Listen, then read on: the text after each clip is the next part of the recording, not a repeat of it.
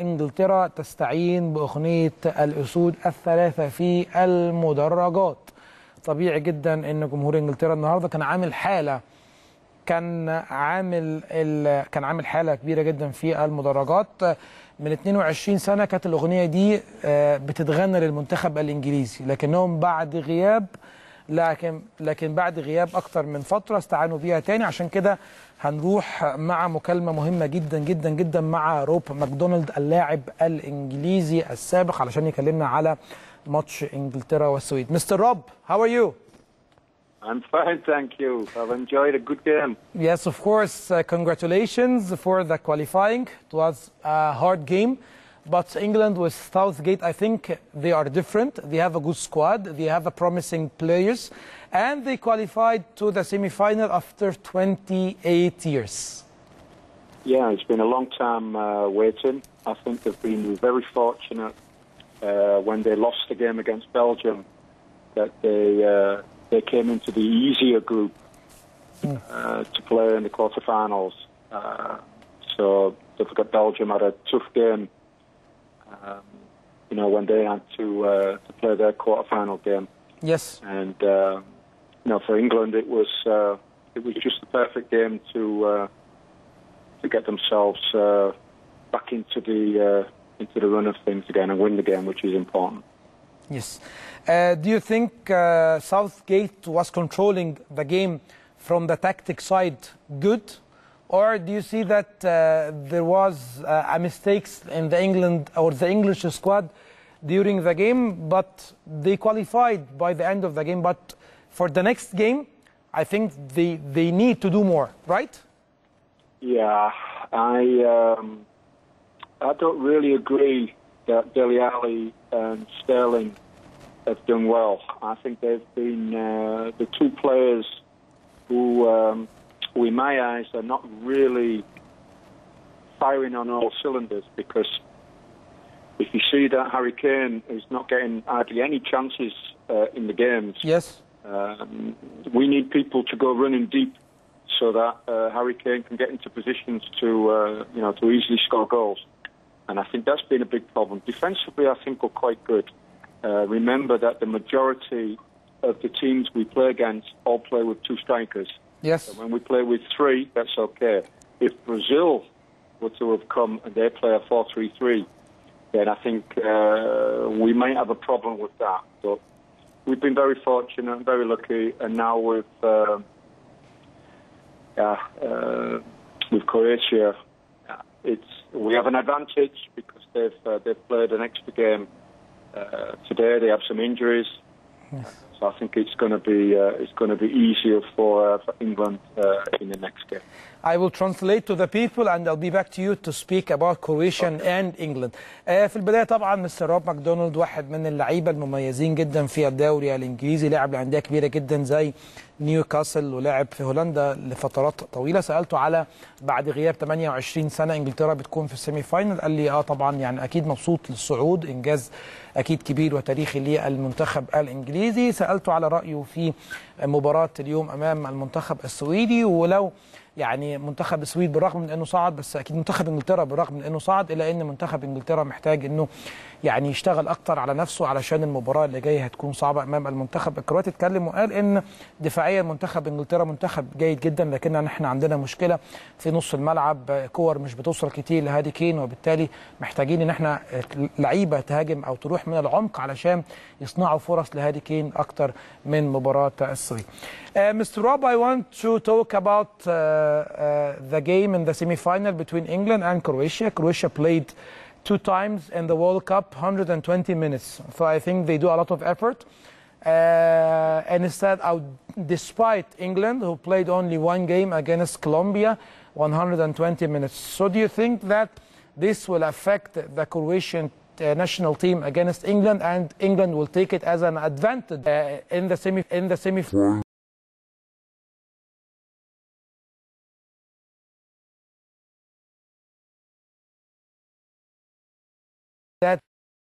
They, they, they can lead them to the final. Well, I think looking at the goalkeeper, he looks uh, he looks as though he has a serious injury. He, he didn't have any problems with the penalties, uh, but he looked as though he had a real problem with his uh, with his hamstring. Uh, a couple of other players were having cramp in uh, in the legs, and I love Modric. I think he's a great player, uh, but they're just not they're not really creating a lot of chances neither.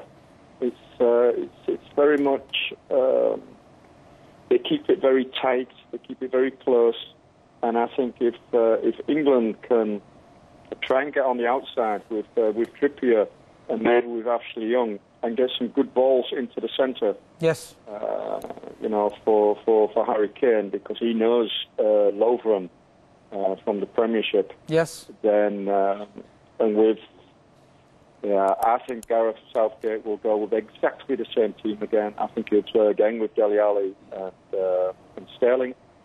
And um, but they have to be also every time when the crosses come in, they have to be ready for the second balls. Yes. and I think that's going to be uh, the biggest difference. Um, I think England will uh, benefit more playing against Croatia than uh, Russia. Russia play a really defensive game, and I think England have problems uh, breaking them down. So I'm uh, I'm quite pleased that we're going to play uh, Croatia. آه سالته على آه رأيه في مباراة إنجلترا والسويد إنجلترا كرواتيا كرواتيا شايف إن كرواتيا هل بعد ما لعبت مباراتين 120 دقيقة ممكن تأثر عليها بدنيا وإن منتخب إنجلترا لعب مباراة واحدة بس 120 دقيقه 120 دقيقة فممكن بدنيا إنجلترا تتفوق أو يكون آه آه حاجة إيجابية للمنتخب الإنجليزي. قال إن منتخب إنجلترا آه لازم أكيد يغير من طريقة لعبه في المباراة اللي جاية. منتخب كرواتيا منتخب دفاعيا قوي لكن منتخب إنجلترا بالسرعات اللي موجودة عنده زي طبعا ستيرلينج وزي أشلي يونج يقدر إن هو يكسر دفاعات المنتخب الكرواتي والاعتماد على هاري كين قال له هاري كين عنده مباراه خاصه مع لوفرين آه لاعب ليفربول فبالتالي هم عارفين بعض من الدوري الانجليزي لكنه متفائل آه بالمباراه. Uh, of course, Mr. Rob, uh, you will watch the game against Croatia, and you hope, of course, that England will qualify to the final. Who do you want to qualify from the other side, Belgi Belgium or France?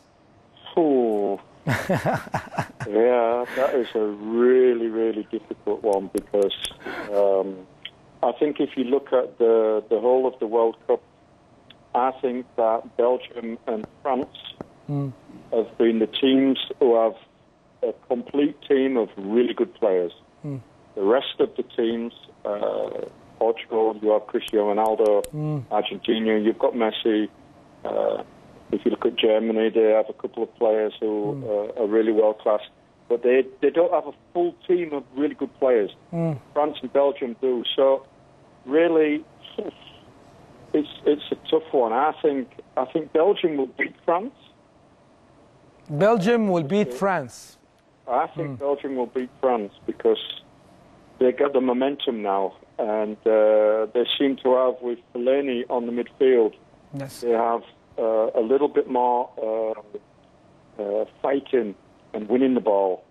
And Mbappe, it's about time that he starts, uh, you know, getting into the games. Griezmann is is, is top class, hmm. and um, and I think I think when it comes down to looking at the Belgian the Belgian team, uh, with so many good players, when you're looking at uh, Hazard, uh, you look at Lukaku.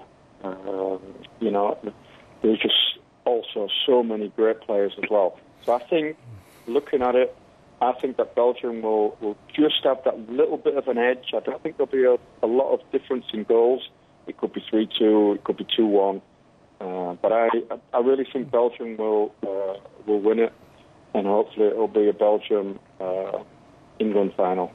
آه طبعا سالته على تتمنى مين آه لو المنتخب الإنجليزي صعد المباراه النهائية مين اللي ممكن يكسب ما بين فرنسا وما بين بلجيكا قال لي إن المباراة تبقى قوية جدا جدا جدا الفرقتين اللي عندهم كمال في كل الخطوط اللي بيلعبوا بيها في الدفاع وفي الهجوم اتكلم على فرص منتخب بلجيكا أكبر من المنتخب الفرنسي ومتوقع وصول المنتخب البلجيكي للمباراة النهائية. Mr. Rob, finally I want talk about your player, uh, Captain Hazim Imam. He was your player in Graafschap, right? Yes. Okay, and now now he is in charge to choose the new head coach of the Egyptian national team. So please give him an advice so he can choose very good. yeah, it's uh, the thing. What you always need to uh, ask is uh, what is the DNA from Egyptian football. I think you really need to know what type of a coach uh, will be good for Egyptian football. Do you want an experienced coach who, um who obviously uh, knows a lot about football? He knows how to, uh, uh, to get the discipline and all them type of things.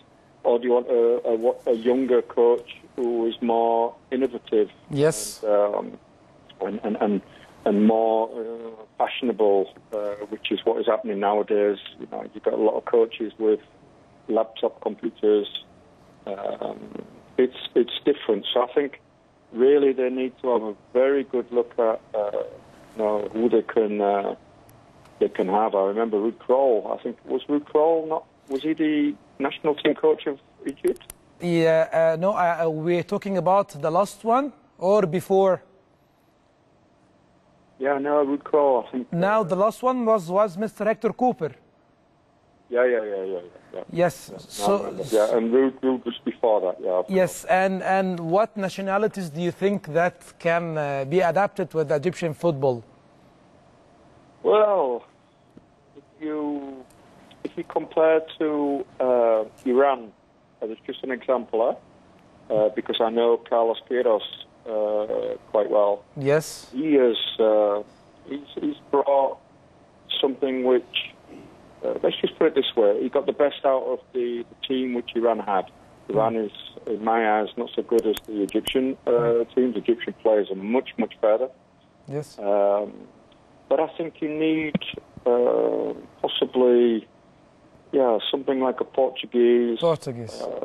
Or Spanish because you're very technical players. Yes. Yes. Hundred percent uh, true. Hundred percent true. Yeah, and I think that would be uh, that would be really good. A Dutch coach would also be uh, be really good. But the Dutch have not had the greatest of success in the last uh, in the last year with uh, with coaches in the in the English Premiership and in the German Bundesliga that they've been sacked uh, really quickly.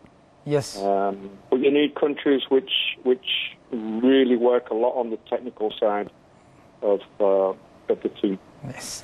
Mr. Rob McDonald, thank you so much for your time and for your effort. And of course, we will have you next time to speak about the semi-final between England and Croatia. Thank you so much.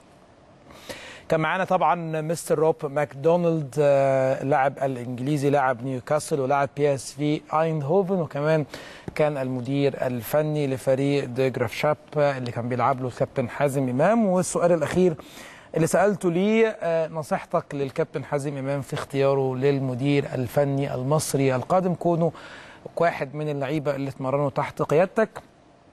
اتكلم في نقطتين مهمين جدا جدا جدا. أول نقطة طبعا إن هو يكون عنده دراية باللاعب المصري وبالكرة الأفريقية. تاني حاجة إنه يكون مدرب صغير في السن. حط تحتيها مئة ألف خط. صغير في السن ده عنده طموح عايز يحقق إنجازات. لكن مدير فني كبير في السن خلاص حقق اللي هو عايزه فبالتالي هياخد منتخب مصر كمحطة. قلت له ترشح مين من الجنسيات اللي ممكن تكون موجودة في تدريب منتخب مصر؟ قال لي أنا أعتقد أن كبرتغالي أو أسباني. هم مدربين بيحبوا يلعبوا كورة. مع شخصية اللاعب المصري اللي بيحب يلعب كورة هتكون متناسقة جدا جدا وكانت مكالمة مهمة جدا جدا لمستر مع مستر روب ماكدونالد واحد من أساطير الكورة الإنجليزية. وتابعنا وإحنا بنتكلم معاه.